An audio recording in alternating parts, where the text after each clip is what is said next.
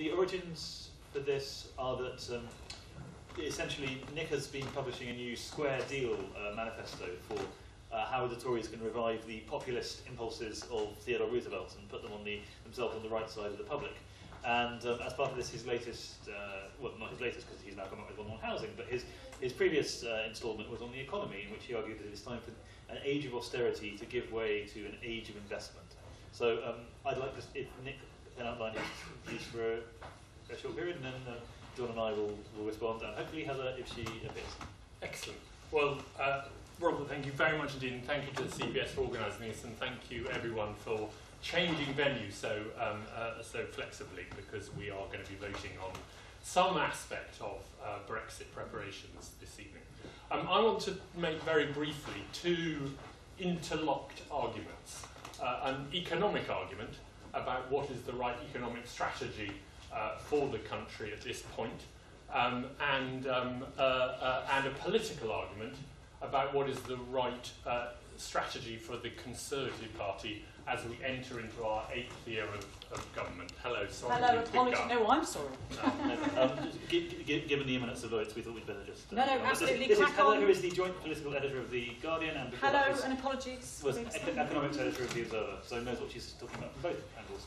Excellent. So I'm going to make these two arguments, an economic argument and a political argument. And, I, and I'll start with the economic argument, uh, which is simply this, that uh, the situation now, after seven and a half years of austerity, is very, very different than the situation when we came into office in 2010 as part of the coalition.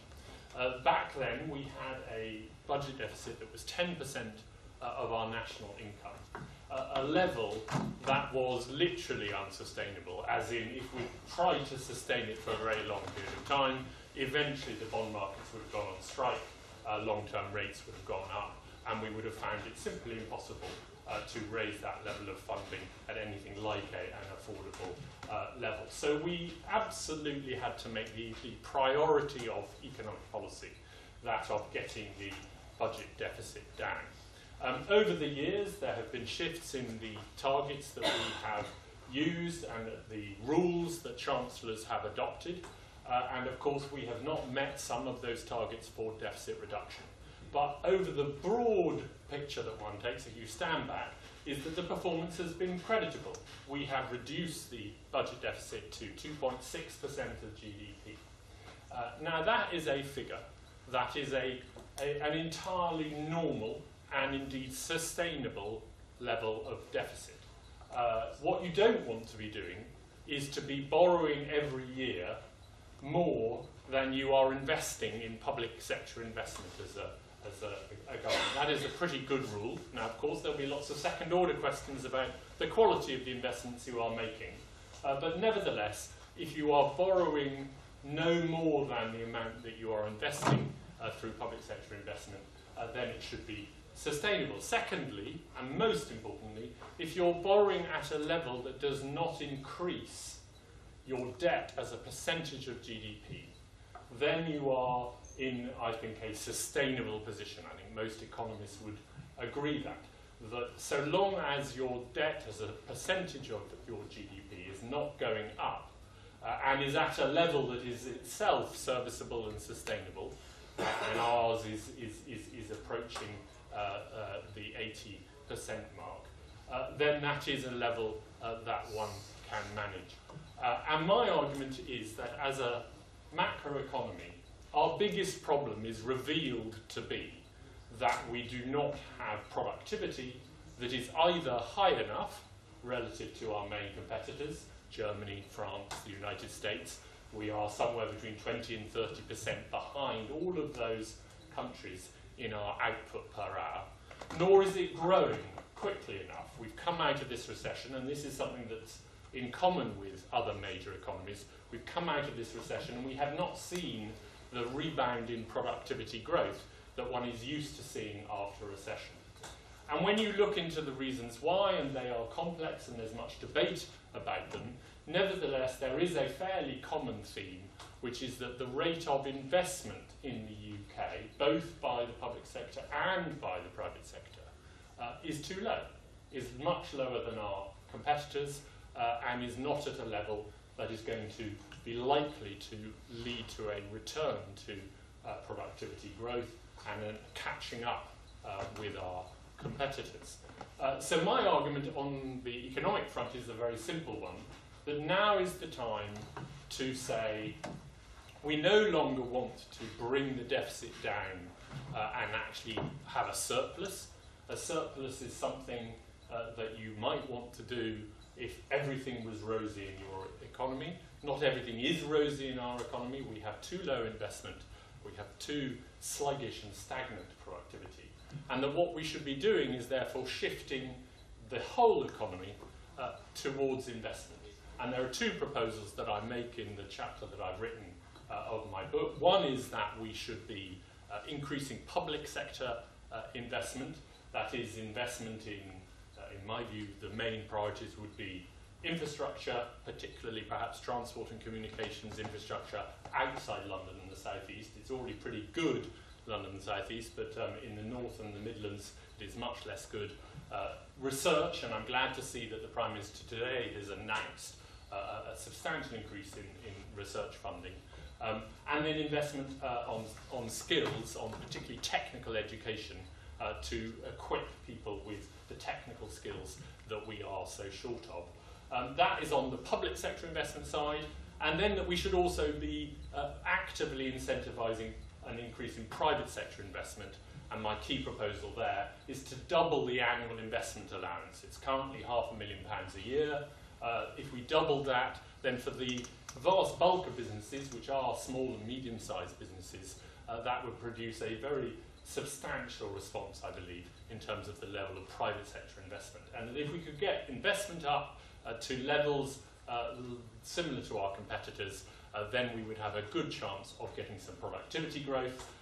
And the final piece of the economic story is this, that if we can achieve an improvement in productivity, we will then have a growing output, at which point our debt to GDP ratio will fall, not because the debt has fallen, but because the GDP has grown, and that that is the best possible way to get your public finances uh, back into shape. That's the economic argument. The political argument is even simpler and even shorter, and it is simply this. We have pursued one economic strategy for eight years and it has been a great success. We have pursued austerity and we have focused on uh, making job creation uh, the, the key priority for the economy. And on both measures, we can uh, pat ourselves on the back and say that we have succeeded. We've brought the deficit down to 2.5% of GDP, and we have the highest employment rate in our recorded history uh, because of the growth in private sector employment, the vast bulk of it full-time jobs. We now need to change the story if we are going to be able to persuade the British people that we deserve a further term in office. It is simply inconceivable to me that we return in 2022 to the ballot box with the story being uh, continuing austerity, striving for a surplus in 2022, and telling ourselves how fantastic we are because we have created jobs. We need to change the story. We need to have, open a new chapter. Uh, and that new chapter, in my view, should be investment and growing wages. We can only achieve growing real wages in our economy, and that is now the priority. Most people have not had a real wage increase for nearly 10 years. We will only achieve that if we achieve growing productivity, and we only achieve growing productivity if we improve investment. My pitch, therefore, is that we need to be a Conservative Party uh, that is arguing for investment and that it goes into the next election having delivered real increases in wages. And we say to people, this economy has not just come out of the abyss, but it is now delivering real benefit to you and your families.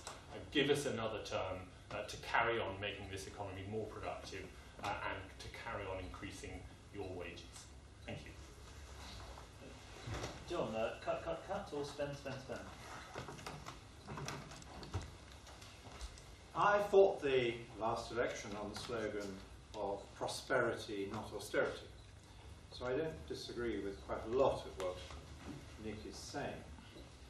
I think I do disagree with the way he's characterised what we've been doing. Because uh, I don't think the only economic policy that Mr. Osborne and now Mr. Hammond have been following is about deficit reduction. There have been a number of policies about wages and productivity and growth. And we may well need to do more. It sounds as if in the run up to the budget, attention is moving to doing more things. But I, I would draw attention to the increases in the minimum wage and then the introduction of the living wage, trying to send a very clear signal uh, to the markets and to businesses that uh, wages are a bit low and that the government will intervene from the bottom. And we've seen quite a lot of work on schemes to try and raise the public and the private investment rate, particularly in infrastructure. I think austerity has become a word that does mean different things to different people, but it's a very real experience to some. In the public sector, uh, austerity has meant much tighter controls over the growth rate of public spending than the public sector would like.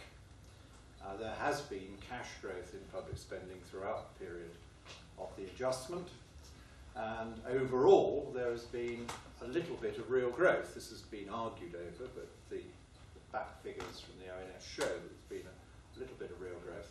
But within that, there have been cuts in individual departments and budgets that, that have been uh, deeply regretted by those particularly affected most by them. And there is a general agreement across the political spectrum, I'm sure, that it would be good to have a bit more money for health and a bit more money for education than has been afforded, even though those budgets were given uh, cash increases and some real increases in certain cases uh, to try and ease the tensions.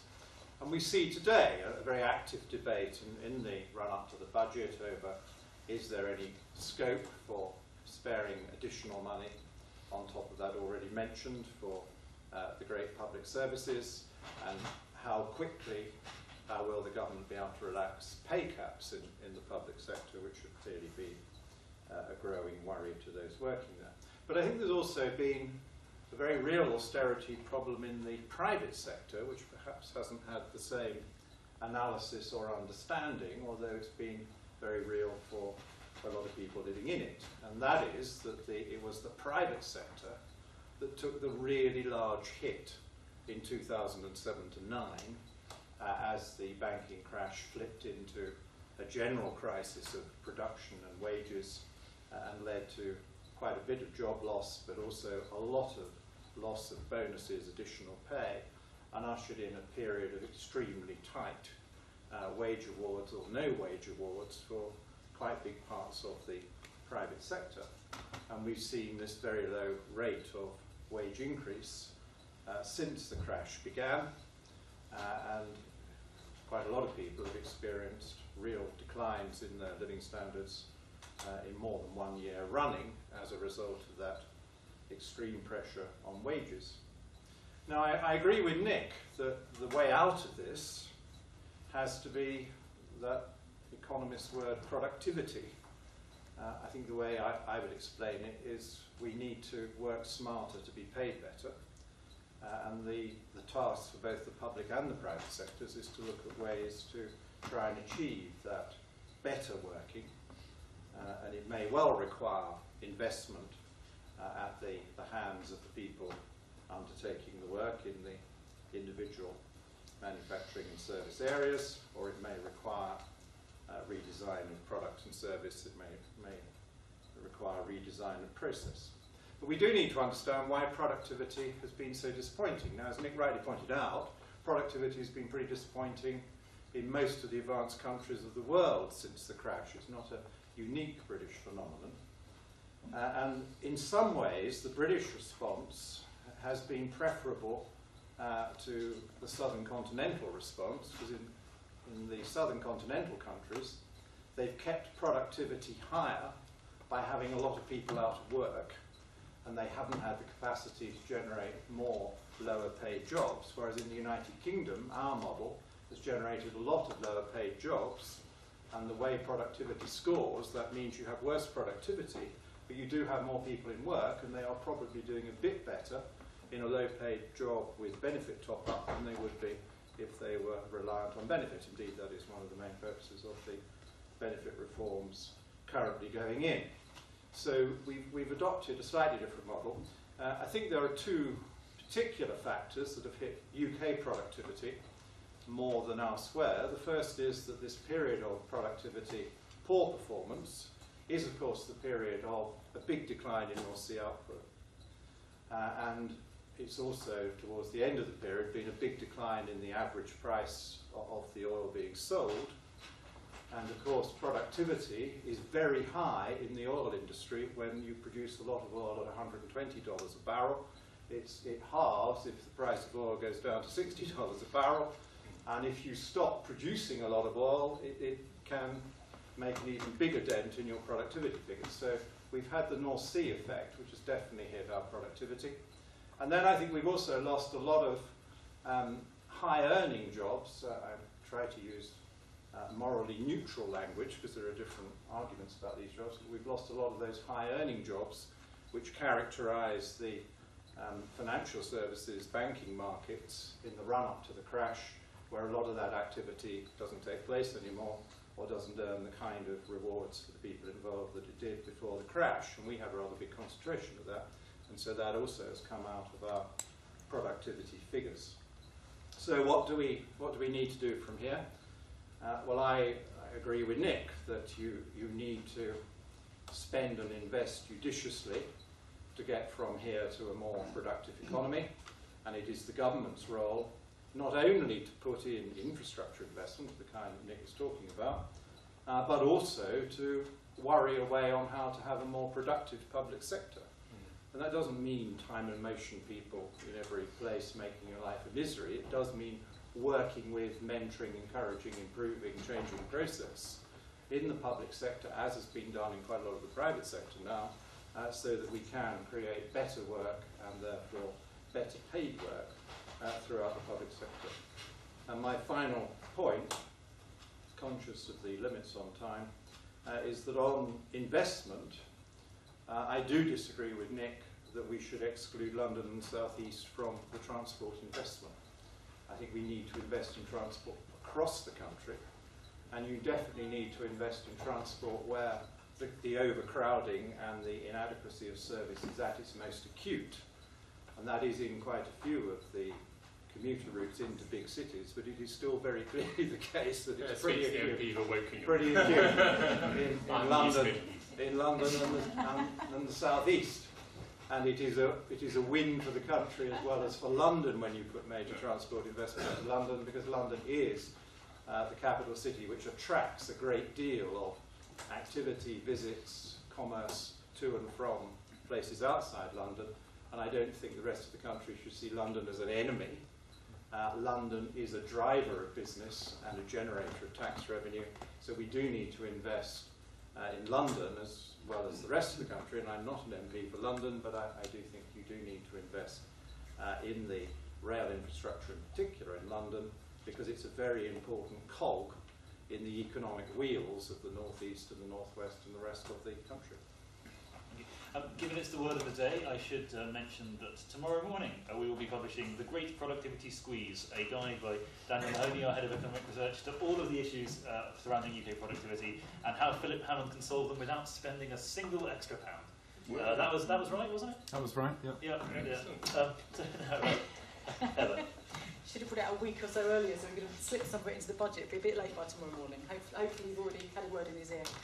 Um, so, um, I would probably, uh, probably, I would, I agree with Nick, seems to be the phrase of the evening, but um, just a bit retro. But I would probably agree with quite a lot of that as well. But I suppose I would ask the question from a sort of, from a political perspective of how the voter is going to feel about your explaining to them that this sort of crisis, this emergency in 2010 is now somehow fixed and we can go out and spend again. And I think it is right that George Osborne's economic policies to some extent, it, it was very politically convenient to prioritise deficit cutting over absolutely everything else. It fitted the narrative. It was in some ways the glue that held the coalition of the Liberal Democrats together. Vince Cable could, you know, sign on to that in a way that he couldn't sign on to other aspects. It helped differentiate the Tories from Labour at that time. And of course, we were in a deep economic crisis. But you could say we then had seven years of prioritising cutting the deficit over thinking about all kinds of other things, whether it was whether it was employment policy, whether it was productivity, whether it was regional imbalances, whether it was transport infrastructure, and that some of the spending you're talking about now is undoing what was done in that time, and it could have been predicted that at a point where you know animal spirits are low and the private sector was indeed retrenching, perhaps cutting the public side is going to slow growth rather than improve it. And you could say, you know, there's a, a different narrative to yours, which is you know, well done, us, pat on the back, we've been extraordinarily successful, now let's go out and spend some money again. The alternative narrative to that, it seems to me, is that you've, over that time and with those cuts and with that narrative and that agenda, somehow helped to create an economy in which lots of people feel their real wages are stagnant, that's to do with the private sector as well as the public sector, obviously, but they feel sufficiently kind of distant from what's going on here, sufficiently left out from the economy and from the recovery. And if you talk to a lot of people about the economic recovery outside London, they say, what? what recovery? And you've ended up with people sufficiently distant from that and that success in the very narrow terms that George Osborne set it, to feel that they wanted to vote Brexit. There were lots of reasons people wanted to vote Brexit, but it seems to me that the general election result, there were all kinds of reasons for that too, but one of the things it seems to me that it tells us, and one of the things that the grip that the sort of Corbynomics anti-austerity narrative has been able to get, it, it, you know, it, that suggests to me that the Brexit result is to do at least partly with economics. The, you know, so it, it seems to me that saying we've done well, let's set that aside and let's move on to a different era, ignores the fact that actually a lot of the decisions that were made over that period have fed into this feeling that, you know, I'm disenfranchised economically, the economy's not working terribly well for me, and probably, you know, weak productivity could have been predicted and to some extent was predicted as a result of, you know, cutting public investment and things that actually, you know, your argument about if you grow the economy faster, if you invest and you grow the economy faster, you know, you can deal with the debt to GDP ratio in the best possible way, which is by growing your way out of it, because there's a numerator and a denominator. It's two ways of attacking it. Uh, you know, it, it, that argument applied just as much, and indeed, people were making it just as much in 2010 as now. Although I realise that the political backdrop is different, and Greece was going down the tubes, and you know, there was there was more of a sense of urgency to it. But I just wonder when you go in 2022, when you turn to the electorate, even if you say you know, this is a whole new start and we're going to invest like crazy and build a lot of new rail links and this is all great. You know, those, the, the returns on that, the multipliers for that would have been good back in 2010. You know, it's tempting to call you Nick Balls, I have to say, because some of this, some aspects of this argument uh, feel somewhat familiar. You know, I went back and read Ed Balls' 2010 Bloomberg lecture, you know, earlier in the day, and a lot of it was has some echoes. It has to be said. Time these are different. These are different times, but the, the broad economic I, arguments I about the returns to investment and so on are, are, you know could be made. one other thing that was which is more a question than anything else. I, and maybe you cover this in another bit of the book that um, we haven't we haven't yet seen, or I haven't yet seen. But I wonder what you think about the interaction with monetary policy, because um, George Osborne, when he was Chancellor, used to repeatedly say, because we've kept fiscal policy so tight, monetary policy can be looser, interest rates can be kept lower. And at the time, that seemed a, you know, a sensible approach. We're now starting to talk, uh, now that those rates, those interest rate levels and the QE, QE has become not a six month or a 12 month or an 18 month emergency response, it's become a long period, we're looking at a decade now ultra low, unprecedentedly low interest rates. And we're starting to talk about the extent to which that's distorting. Nick Timothy talks about it, for example. You know, it tends to inflate asset prices. It tends to help those who've already got a deposit for their house put together. It doesn't very much help you if you're renting, or you know. And I wonder, and it probably wouldn't, you know, wouldn't have been thought about at the time. But I wonder whether, looking back, fiscal policy was perhaps too tight. And certainly, even speaking to people at the bank, they say, "Gosh, we didn't know quite how tight the treasury was going to be and how much of the heavy lifting we were going to have to." Do. So I, I'm interested in what you think about that because that's been much distorting aspects of monetary policy have been more talked about than, than they were. But that's more like questions, isn't it, than yeah, answers? But anyway.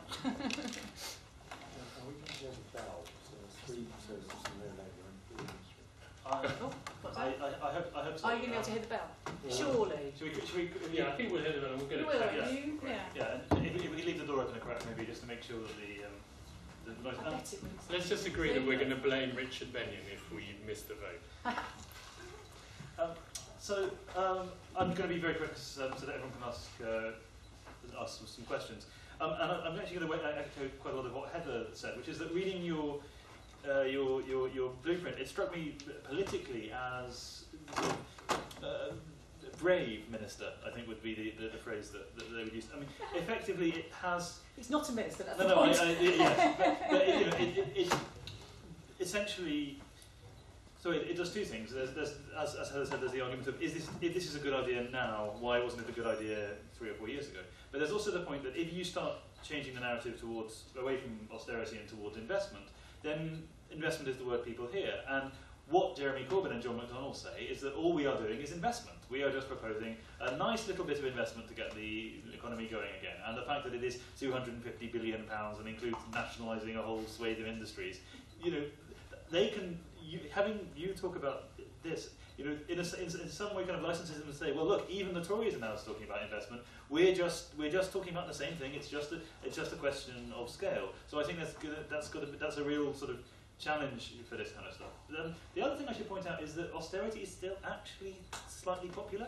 Obviously, there are specific losers who really, who have, you know, as John said, it's been uh, imposed unevenly, central versus local, department versus department, uh, pay freezes. You know, there are lots of people who who complain about it. But if you look at the, the Populus, just did a big sort of public opinion survey, which um, we've written about quite a lot because uh, it's you found out that you know most people aren't that keen on capitalism. They're not that keen on n- privatised industries. They're not that keen on a lot of things that the three of us, I think, would uh, would support. And in fact, that John did a lot of the work on back in the 1980s, greatly to this this country's advantage. But I'm in favour of capitalism for the record. I may write for the Guardian, but for goodness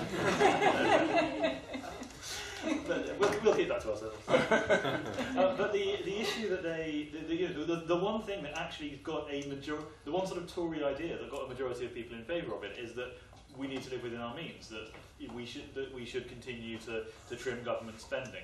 And um, you know, and I, I think that's quite a powerful weapon that the Tories still have in their arsenal. that they, they shouldn't want to give away.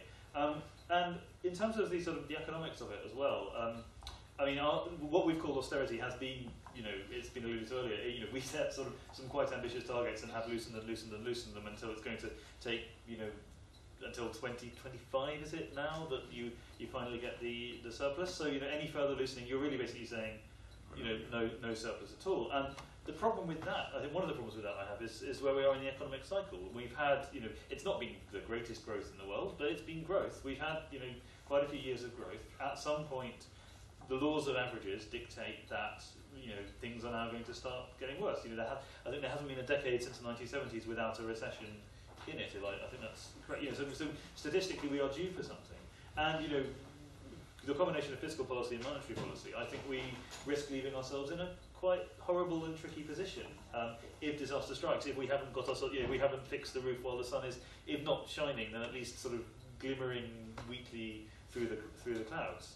Um, and um, and I mean that's you know without talking about you know as interest rates go up, the affordability of, of debt repayments is already you know quite quite heavy, and you know the the type of in, and also I think if we're talking about productivity, the type of investment we're talking about here, I mean, which Daniel uh, alludes to in his paper, you know, quite a lot of the problems with productivity, I mean, A is sort of structural in terms of our, our employment levels and should hopefully improve as the employment market tightens. That you know, we've basically solved our problem.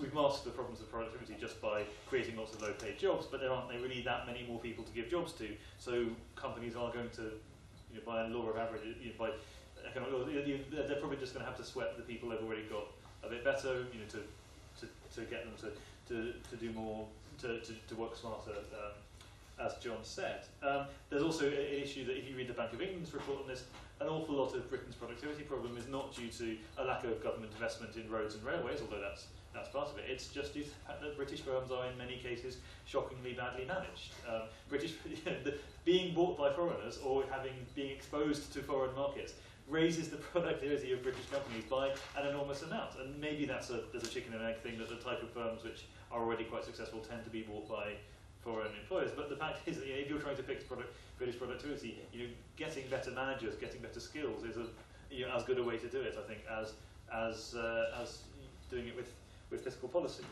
Um, yeah, I think, and um, that said, I really do like the investment allowances idea because I, I think the, the, the lack of capital formation in our economy is a is a huge thing, and you know, actually, the your government government investment in the UK is low, but not sort of low by global standards.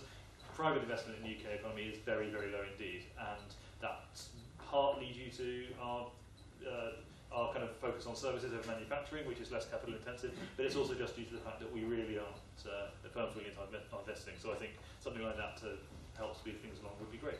Isn't that partly because it, or what, being slightly devil, devil's advocate, isn't, isn't that partly because our companies have a, access to a lovely cheap pool of reserve, low skilled labour, and it's, Mhm. you know, it's easier to, uh, you know, to, to, to hire a few more people than to pay for a very expensive machine that you're going to have to depreciate over a decade or whatever. You know, I think that's, but I mean, But there's by which I mean I wonder what difference Brexit makes to some of this, and, and, to, and the post-Brexit immigration regime. I wonder how much difference that makes to whether it's Well, my favourite example of that is the um, example of supermarket pricing, um, which is that if you go to France, most supermarkets, the prices on the shelves are digital. And so you think how often they have to change the prices on the shelves, and leave aside the fact that they then move everything around and move it from one aisle to another aisle, just to confuse us all. Um, and so in France, it's all digital, so therefore it's all done by either one person on a desktop in the office in the supermarket, or probably one person in head office uh, changing prices across the entire uh, chain. In the UK, prices in supermarkets are almost all paper. They're printed on card and they're sort of slotted into those funny little tracks. Now, why? Because the labour cost in the UK is so much lower than the labour cost in France that as a result it, is, it isn't worth the investment in uh, the digital system. And there is, in a sense, a low wage, high employment equilibrium, but there's also a higher wage uh, and lower employment. I mean, obviously, fewer people than employed in the French supermarket. Um, it seems to me that moving from one to the other at a time of very high employment, very low unemployment, is, is exactly what we need to do, and was one of the things that, as John said, with the national living wage was an incredibly important step Yeah. to actually make it worth Yeah. employers' while to make those investments that were going to shift productivity. All I just want to do quickly before opening it up is just to respond, in a sense, to the broad political challenge, because you know we can all argue about particular aspects of the economic policy and what's right and wrong, but the political challenge.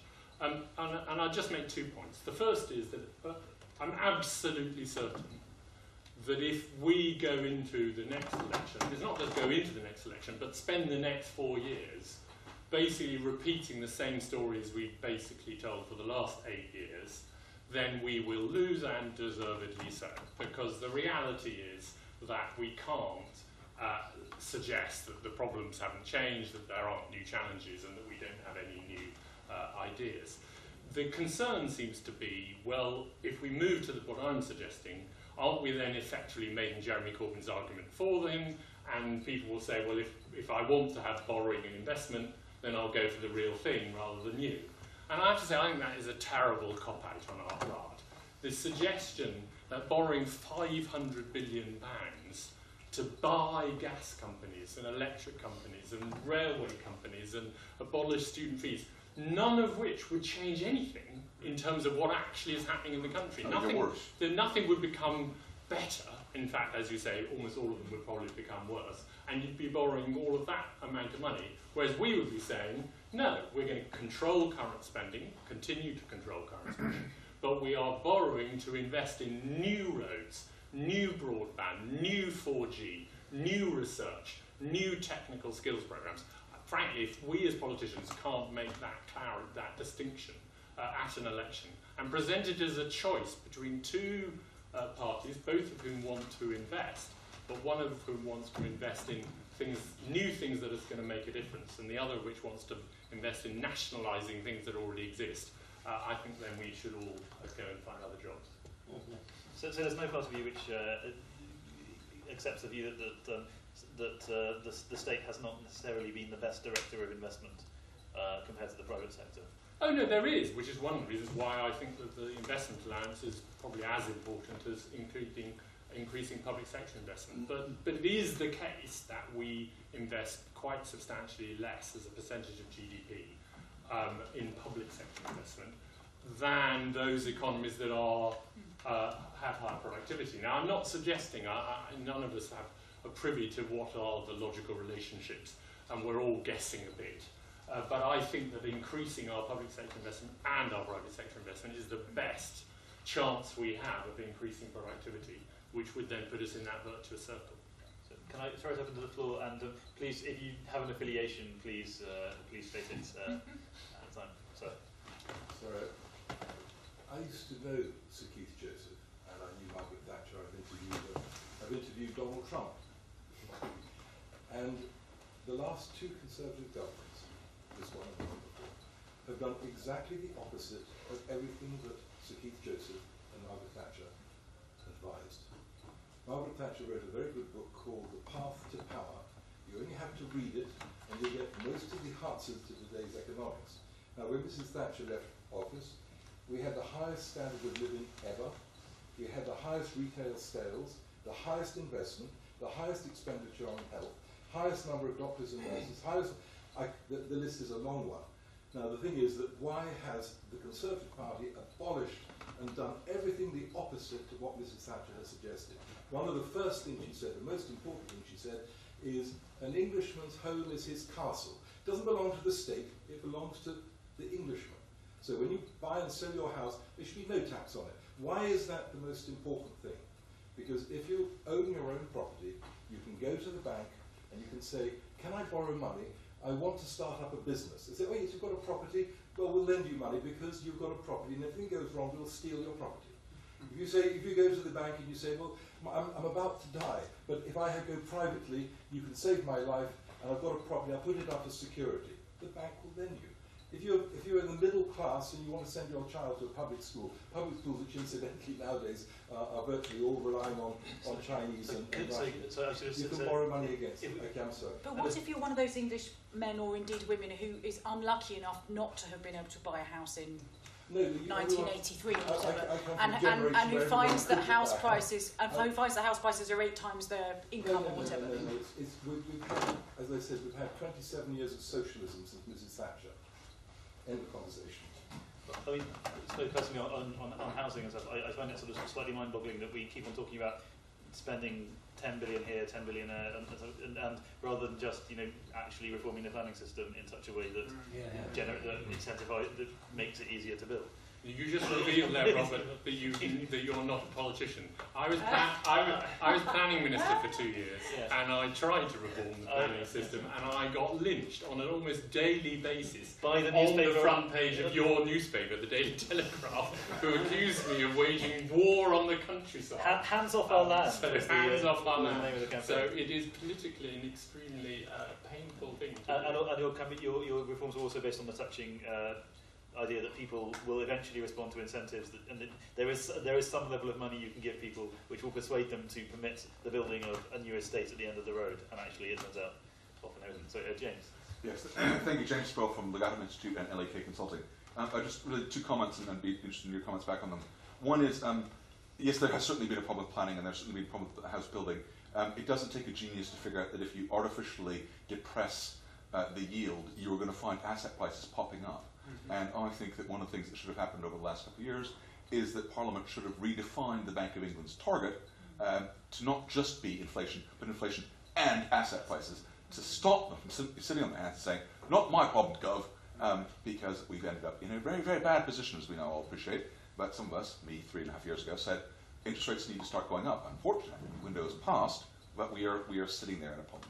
The second question I had for Nick on his plan on, on public sector investment is one of the issues that I have, and, and sort of cautions I have with this, and it's sort of encapsulated in, in three simple things.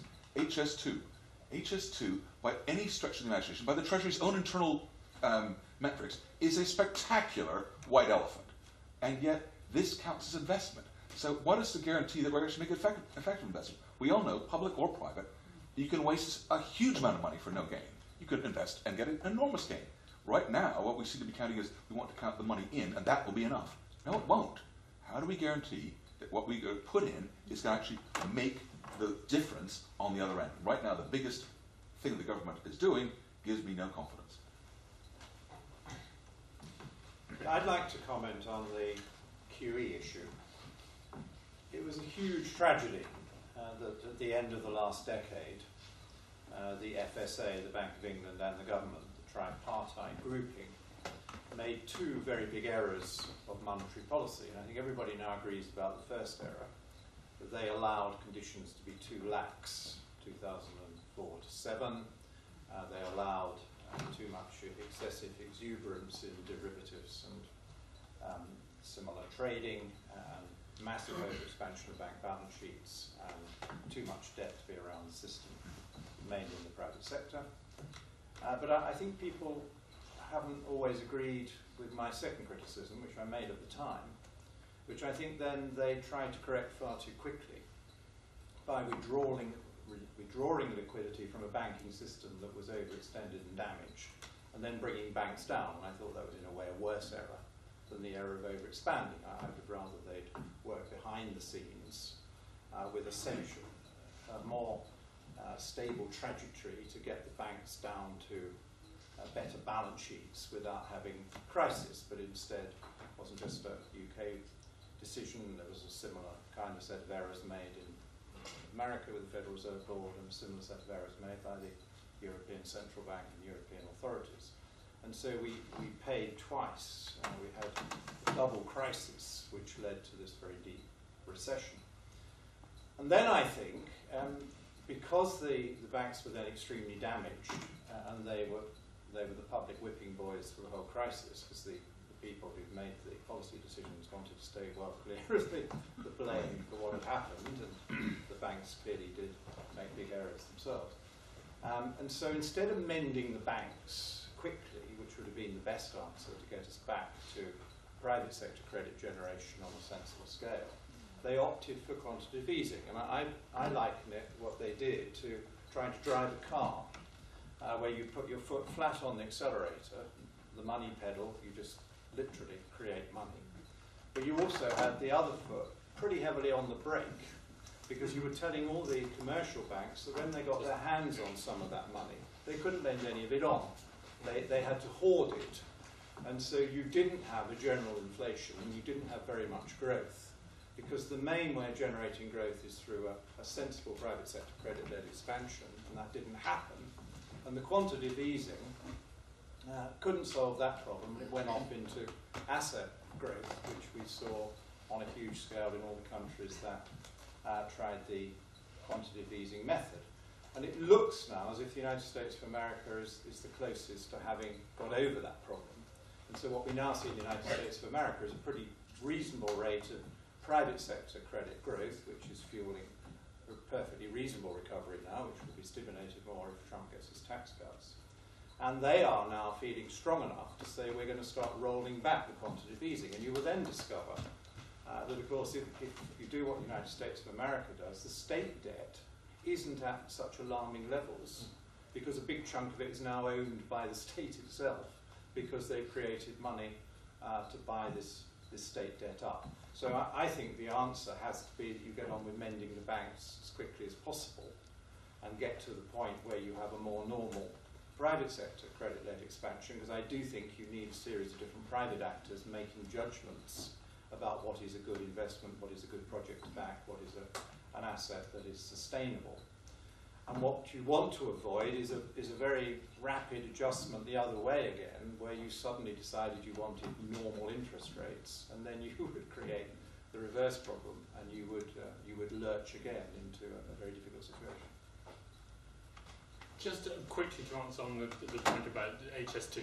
I mean, the reality is, I'm the backbencher now. I can say what I um, I have no idea whether HS2 is value for money or not, and it's almost impossible for anyone who's an outsider to it to, to, to have a view. All I would say is this, which is that nobody I've heard for literally 10 years challenge the wisdom of Crossrail. Now, Crossrail is cost, I think, 17 billion. Okay, and it's basically what the argument in favour of Crossrail is not the speed, though it's much quicker than the central line. It's simply that the central line is full. We it's capacity. Line is full. We need new capacity. We might as well build fast capacity, and it's costing us 17 billion to do however many miles it is, 25 miles. HS2 last time I checked was, you know, even the sort of the, the, the, the outline suggestions is it 50 billion or 60 billion. Um, so that's, you know, three times Crossrail, and yet it's going, you know, from London to Birmingham, Birmingham to Manchester.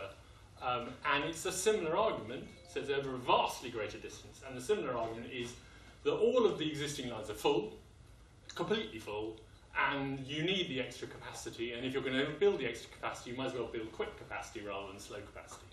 That's why fundamentally I'm still broadly on side. I have no idea whether I'm going to find that it's been the most appalling white elephant, but the fundamental argument about capacity does seem to me to be a challenge that critics of HS2 haven't yet given me an alternative solution to.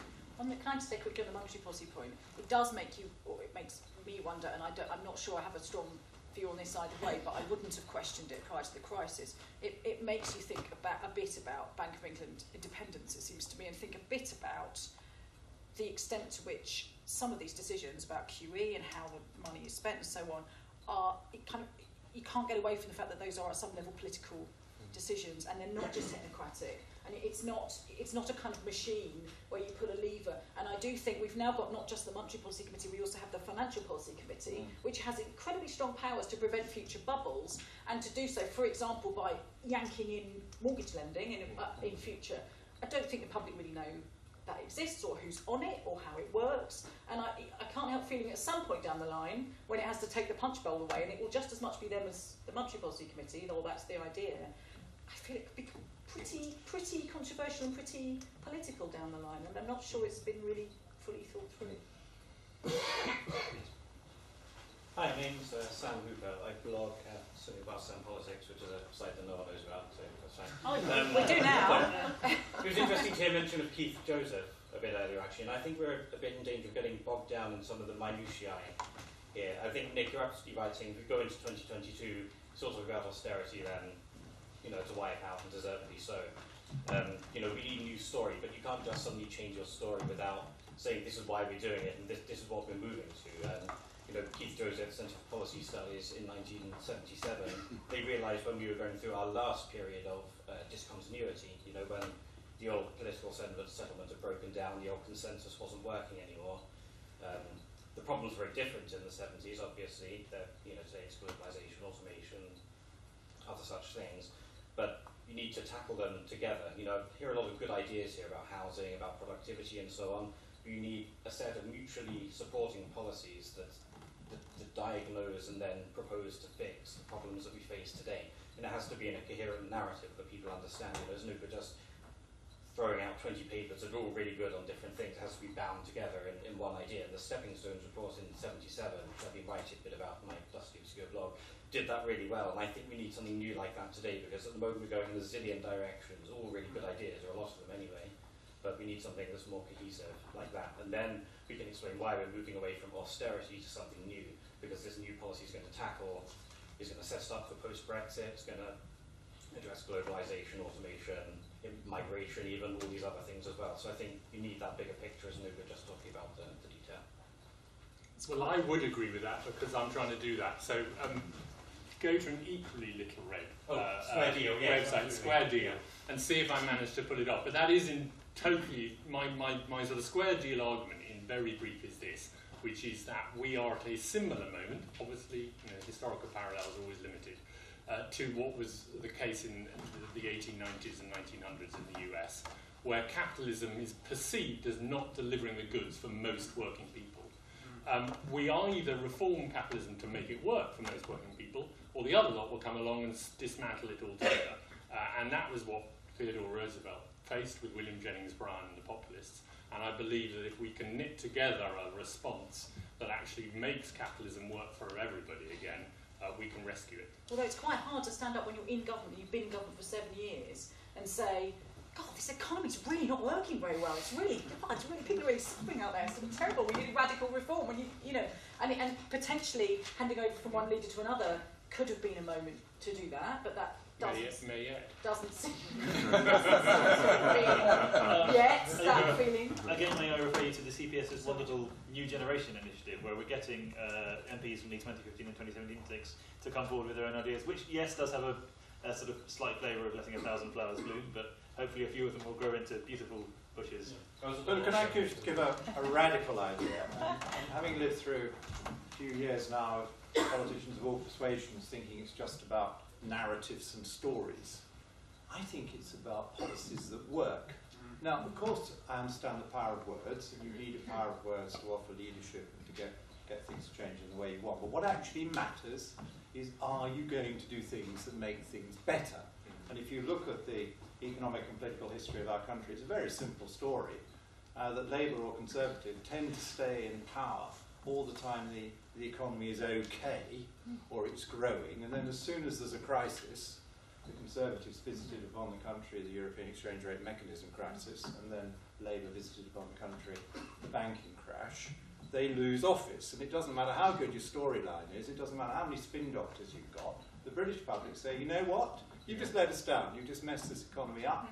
We want an economy that works. So I think what, what matters is a very serious debate going on in the Conservative Party at the moment, which is what are the things that are going to do most to promote that growth and austerity, which is why Nick and I don't find ourselves in the predictable disagreement that people expect us to have, uh, because they believe in caricatures of us. And, and, and on that, I'll just say the statistic which stays with me is that the, the Tories won a thumping victory at the last election among the proportion of the electorate who agreed with the statement, my life is getting better. The problem was that was only 13% of the electorate. so if you, can, if you can sort of get that up into the 30s or 40s, then you, you know, you're probably in, in good terrain. Um, so. Yeah, Carl Thomas. Um, my, quest, my, my quick question is this. First of all, we- first of all, we've got a housing crisis. Few, few people are owning shares or are saving for meaningful private sector pensions, if at all. Uh, There are areas of our country where our economy is clearly overregulated, overregulated, It's overregulated in a number of areas, overregulated and unpro- and uncompetitive in number of areas. There's also there are also issues. There are also issues affecting our labour market. A large numbers of people very insecure, low-wage jobs being topped up by the minimum wage, which is a, which is rather awkward awkward features in regions which very poor regions of our country have been demarketed, which would effectively slowly but surely be moving away from them, which is which is surely where they do not witness capitalism, and actually becoming more demarketised and, and dependent upon the wealth and depending upon what I'm going to say, the public welfare state. There's also unproductive, also problems with SME funding because let's face it, we depend on maybe know, fairly four banks provide overnight for credit. Says policy studies are reporting on how bonds could be useful in this area just this week. So the, the, But what, British, but, but also, one of the reasons why productivity is low is because we do have a lot of zombie firms caused by low interest rates. I think if interest rates rose, whilst it might be very good for inflation, very good for getting rid of zombie firms, provided it didn't call, provided, provided all its mass, provided all its mass cold businesses which put banks at risk, I think that's very unlikely. There's also the crisis. There's all, but the real issue is this. One of the reasons why retail sales are low low particularly thing about the car industry is because consumer credit is maxed out, certain sectors like the car sector and certain sectors like consumer like consumer goods have also shrunk partly because people don't have high interest. If we raise interest rates, there would also be a danger that the British economy would, bre- would worsen Brexit. And third, more importantly, could put push indebted consumers and households over the edge. We just end up, you know, the headline Brexit, they might have obeyed this. It look, I mean, the house has been repossessed and have Jeremy Corbyn in. so, well, quite, yeah, quite a lot to How, chew how on there. can we create how can we create new highly productive firms despite the challenge of Brexit, as well as building the houses we need? Sounds like a perfect question for John. So it was your plan. we Um, I mean, I'll give you a quick answer on housing. Um, uh, I, think that, that you have to start where you are, and where we are is an extremely uh, serious and unfortunate position um, that is a legacy of, of many of the things that we've been discussing, not least the quantitative easing, which I completely agree with, the distortions that's introduced, but also you know, more than a decade, probably two decades of building too few homes. Um, I think that we do need to reform the system quite dramatically, but as well as reforming the system, I do think we also need to recognise that in a uh, in, in, in the situation we're in, that the state has to take responsibility for commissioning the building of homes directly. Those homes would then be for sale or for rent, and so there'd be a return on them. But that actually just waiting for private sector house builders to build enough uh, is never going to work. They never have built enough. Uh, the way the planning system works effectively creates an oligopoly out of the major house builders. They're hiding behind the barriers to entry that are created by the planning system. I don't blame them for their behaviour because they're behaving rationally within the context created by uh, the rules. But in that situation, the state actually has to be. Um, the way I like to sort of compare it is that we need the state to act like Saudi Arabia. It needs to be the swing producer in this cartelised market, and it needs to be producing volumes at a rate which mean that the private sector producers start behaving like truly free market house builders, which they currently don't. So it's a combination of system changes and a certain amount of public backed uh, investment that I think would fix the housing crisis. In terms of creating new, highly productive, uh, productive firms, that I'm going to pass on to John and Helen. The UK is not bad at it um, compared with the rest of Europe, but it's obviously well behind the United States of America. And I think there are two different main areas to look at. The first is do we have a fast enough rate of new business startup? Well, we've got better at that in recent years. And how do you get better at it still? Well, it's about the improvements in the education system and um, it's a cultural issue. You, need more people to mentor others, to explain to uh, young people that this is a perfectly good way of setting about your life that working for yourself has lots of advantages as well as responsibilities and difficulties, and we can make more progress on that through educational reform and through the general cultural media. But I think the second area is the one that we, we may need to spend a bit more attention on what the government does. And that is why is it when we create some perfectly good, reasonably fast growing companies that, that get to a certain size, do they then just get sold out, uh, acquired by somebody else, uh, maybe the entrepreneur um, retires, or maybe the entrepreneur sets up another small business and does the thing all over again. We don't seem to be very good at running it on and growing it. So when you look at this amazing digital revolution, which is just so exciting, completely transforming the way the world economy works, you, have got the Googles and the Amazons and the Apples, and what do they have in common? They're all American corporations because there uh, they manage to go on beyond the five and ten year stage where the person can be exceedingly rich by selling out and turn it into a great corporation which serves the whole world uh, and invests all across the globe. And Britain is now one of the main beneficiaries of this because we are now one of the preferred locations, and rightly so, for the Facebooks and the Googles and the Amazons to actually invest here because we do have a very fast rate of take-up of new technology uh, and we have a very open market that allows you to do that. But it would be good if we crack some of those cultural and financial issues which are getting in the way of uh, us running on our own companies to make that, that transition to the mega businesses? Yeah, I don't think I have an answer except to say it's an incredibly long-standing problem that we've talked about for such a long time that there is this, this sort of financing gap between startups and then there's a certain point where you might be able to get venture capitalists involved but very often only on the basis that you're aiming at an IPO quite quickly. It's very this this idea of patient capital has been, you know someone who's willing to hang around for a long time and take a long term interest. That it's always been problematic. It's always been something the city finds quite problematic. I don't know quite what the answer. Is. But one good news fact that I discovered, which I put in, in the chapter, is that apparently our rate of new business creation is the highest since the crash. Is the highest of any OECD country. But, so we're obviously doing something. The pro- but the problem there, which is where this paper on retail, uh, the SME funding gap comes in, is that we are 13th out of 14, 14 OECD countries in terms of the number of those companies which have 10 or more employees after three years. So we are very, very good at starting firms. We are very, very bad about making them, growing. about growing them. And a large part of that is, as, as was alluded to in the question, the fact that 90% of business finance is controlled by the four big banks. After the uh, crash, they've completely reined in their their funding. Um, you know, I think we have some of the highest rejection rates for applications um, in the in the uh, in Europe. Um, you know, more Brit- more British people who go to those banks for funding are being turned down. Fewer of them are, are getting funding. It's obviously it's a real constraint on growth.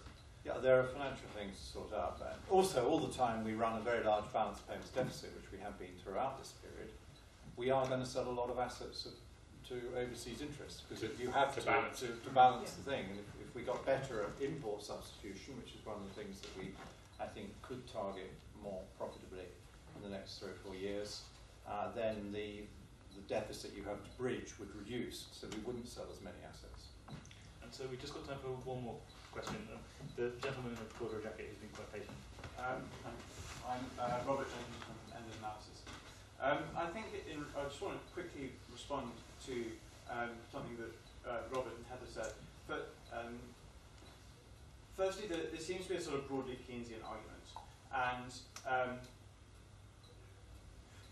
the one thing that, that the austerity measures have achieved over the last um, decade or so is a retargeting of government expenditure, an expenditure not on consumption, not to subsidise consumption of taxpayers, which just is wasted money. However, that is still continuing to a large extent, and that to um, obviously needs to continue to um, be taken down. But that is one of the reasons, in, in response to the uh, objections given, that things have changed, and we could now allow for um, for increased government expenditure on investment. There's a huge difference between government expenditure on subsidising um, consumption goods for consumers who would otherwise buy it themselves on market rates, which will always mean that the amount of money spent on that good is more than if the consumer bought it themselves. Um, the other thing is, if we want to fix trains, we can automate them like the rest of the world. Are you what spending? When you say well, what spending are you talking about? When you're, you're talking about welfare cuts? When you're talking about I'm talking about well, well, it's not really welfare cuts. There's there's a difference between which bit of government spending do you mean is, is subsidising consumers' spending on consumer goods? um, well, there there are areas where I mean, for the NHS, I'm not going to. It's, it's difficult to find um, really concrete examples. However, for things like transport um, and um, and health and those sorts of goods, where where the government is subsidising not poor, poorer people who need that subsidising, but people who are rich enough to otherwise be able to afford it. Um, and I, I mean, So you're basically saying, yeah, um, why, why, why, why, why, are the, why are the four people on this panel eligible for a state pension? Is that the, the of argument? Sorry, why are the Uh, why are the four people on this panel eligible Well, for a state pension? Four or four? two, two are employed by the The four poor people on this. Not yet, but no, not quite. Well, there's government expenditure on public goods is clearly rational and justifiable. Government expenditure on redistribution is clearly rational and justifiable. But government expenditure on if I'm paying paying X in tax for um, a good that the government is just going to provide me, having bought it with that amount on the, the free market, it's just creating a dead weight loss. yeah, yeah, I think we all believe in free education and Yeah. free I education. think we. I think we we do. do. I think we're not, yeah, not going to Well, go there. not free Like, can I deal with your trains? yeah. Yeah, I do have a John's always. I remember John ten years ago telling me why we didn't need any more Yeah, yeah, well, we're closer, and I'm getting there, believe it or not. There are other people now who, on who trains, think I'm not, not so silly over all this. And the, the average piece of track that we have from Network Rail uh, only allows 20 trains an hour to run on it. And with modern digital technology and uh, real-time signalling and proper surveillance of the whole track um, through digital technology, you could run trains closer together. You don't have to have two-mile segregation or whatever it is, as they're all going in the same direction on the same piece of track anyway. And if you went from, obviously you went from 20 to 30, you get a 50% increase in capacity on the same piece of track for a much cheaper investment than putting down a new track. Yeah, you just got to spend enough on your digital technology. And I think 20 to 30 might be feasible uh, in the not too distant future. You can certainly go from 20 to 25 um, immediately if you put in the right kind of digital technology. And I would recommend that very strongly. And the government is now, I believe, uh, undertaking some trials with that in certain areas. And that would be a cheaper and better way of uh, getting there much more quickly. Because um, if, you, if you fly over um, the UK um, at peak, it, it's an amazing thing to look down uh, because you've got these roads going into the centre of cities completely bumper to bumper with all these cars and, and vans being able to get there.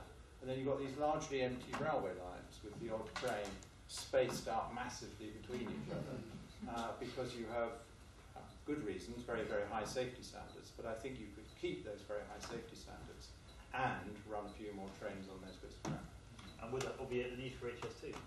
Well, I couldn't possibly say that now we have agreed, but, but I did vote against it. Yeah, it sounds like it, yeah.